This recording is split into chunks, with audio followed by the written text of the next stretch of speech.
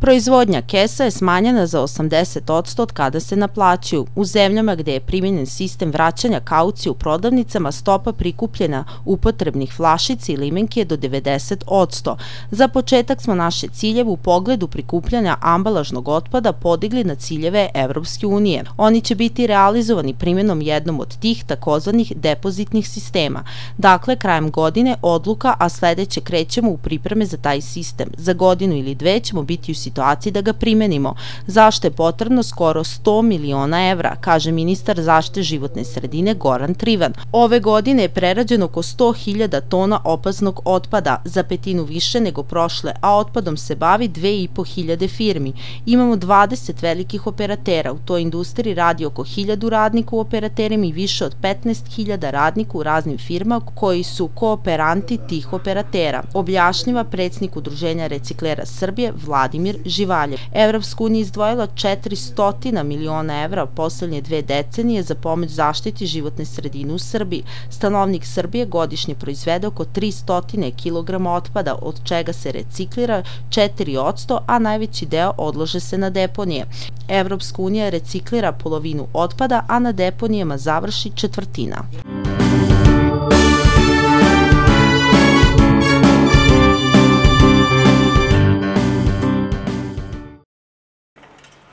Na pet lokacija u gradu u okviru akcije Neka Niš diše biće posađeno ukupno 170 sadnica.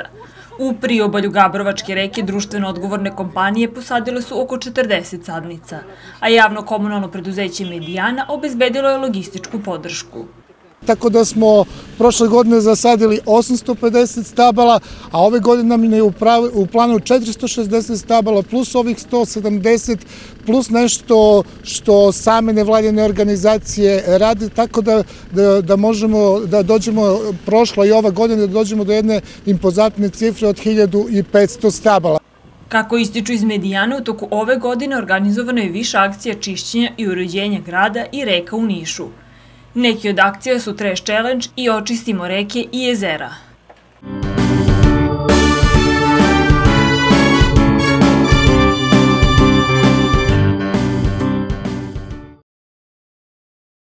Požarima na otvorenom prostoru u Srbiji ove godine izgorelo je mnogo šuma, vinograda i voćarskih zasada, kao i pašnjaka i niskog rastinja. Od početka godine registrovano je oko 17.000 požara na otvorenom, a najčešći uzročnici su poljoprivrednici koji su palili srnjiku. Ovaj način uklanjanja biljnih ostataka sa njiva je iz godine u godinu sve prisutniji, kažu u Poljoprivrednoj savjetodavnoj i stručnoj službi u Nišu.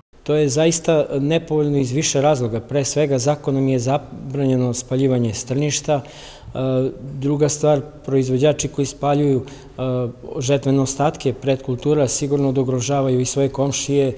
Vidimo značajan broj voćnjaka i vinograda koji su u okruženju spaljenih parcela da su dosta ugrožene i onda što je najvažnije takođe kvarimo, narušavamo neku ravnotežu u zemljištu između mikroorganizama i organske materije. Organske materije je sve manje u zemljištu, zbog čega ono gubi na kvalitetu, a poljoprivrednici sve manje vraćaju zemljištu ono što su uzeli svojim prinosima, objašnjava Stanković. Zaoravanje strnike je jedini način da se zemljištu vrati kvalitet ukoliko se ne stavlja stajnjak. Iako su zakonom predviđene kazne koje iznose od 50.000 pa do milion dinara, Stanković kaže da ne zna da je neko u Nišavskom okrugu do sada kažnjen. Ja ne znam da je neko sankcionisan, sigurno da će država preduzeti sve mere da se na vrlo lak način utvrdi e, putem snimaka e, ko to radi, kako i gde radi i sigurno proizvođači u narednom periodu očekuju drastične kazne, pre svega e, ići će u pasivan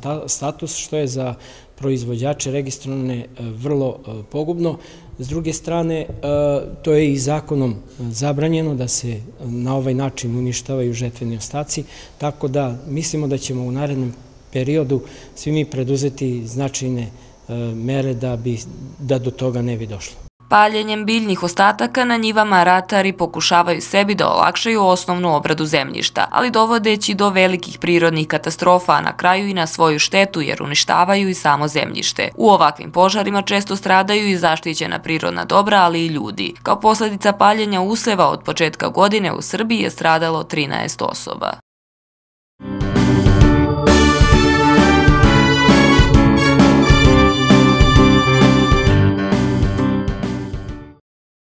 Kroz program podrške grada Niša, javno komunalno preduzeće Medijana posadit će oko 2000 sadnica na teritoriji grada. Na ovaj način ne samo da će grad izgledati lepše i zelenije, već će to uticati i na smanjenje aerozagađenja. Sa sadnjom se krenulo u parku preko puta gradske kuće. Gradonačelnik Niša Darko Bulatović istako je da, iako su mnogi govorili da će iz tog parka biti posečan veliki broj drveća, to neće biti tako, već će biti zasađeno čak 50 sedam novih. Ne samo u parku preko puta gradske kuće, nego na teritoriji celog grada.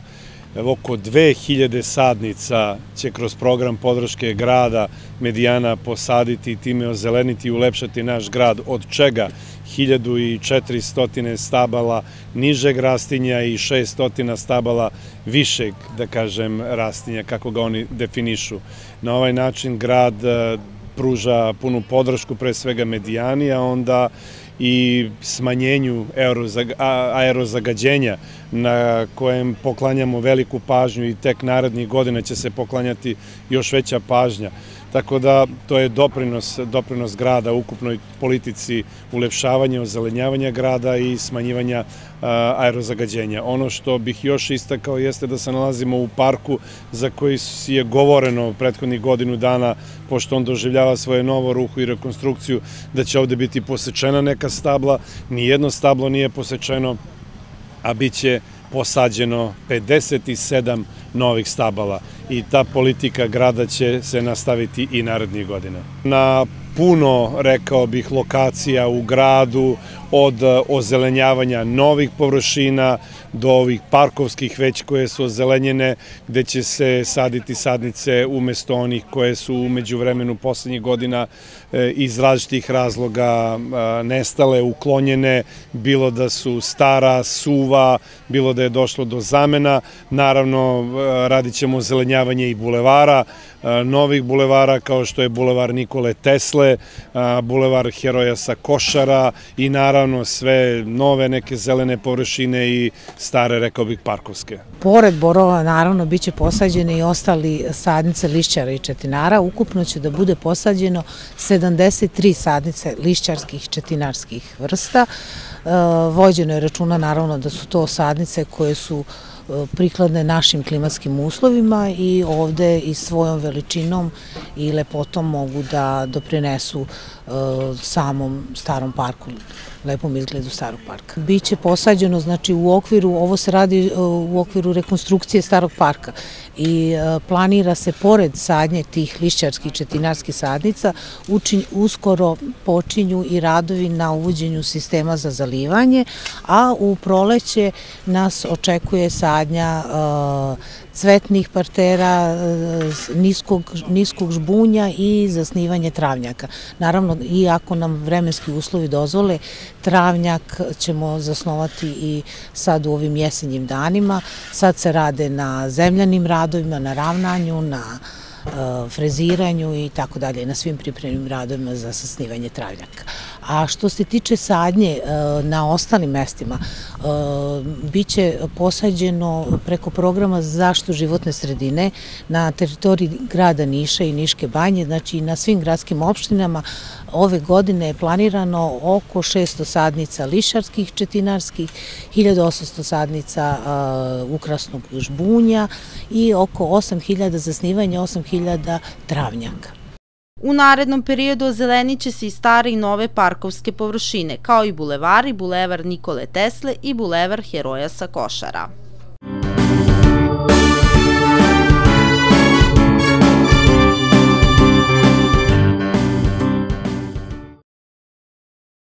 Od ukupnog broja kontrolisanih javnih vodovoda gradskih naselja u Srbiji prošle godine 61% su bili ispravni.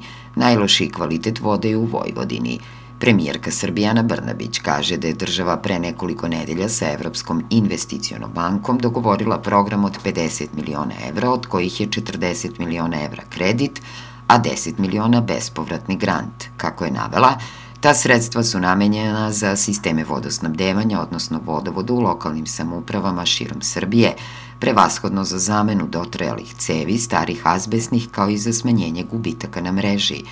Nažalost, zbog nemara u proteklim decenijama mi bukvalno rasipamo vodu koja je danas na svetskom nivou jedan od najvrednijih i najvažnijih resursa, istakla je premijerka. Naglasila je da u Srbiji nisu redke lokalne samuprave koje imaju gubitke na vodovodnoj mreži veće od 60%. Prema njenim rečima, ovaj problem je počeo da se rešava kao i mnogim drugim oblastima, ne od nule, već od minusa. Sa Razvojnom bankom Evrope dogovorili smo projekat vredan 200 miliona evra samo za vodosnabdevanje i prečišćavanje otpadnih voda, rekla je Brnabićeva.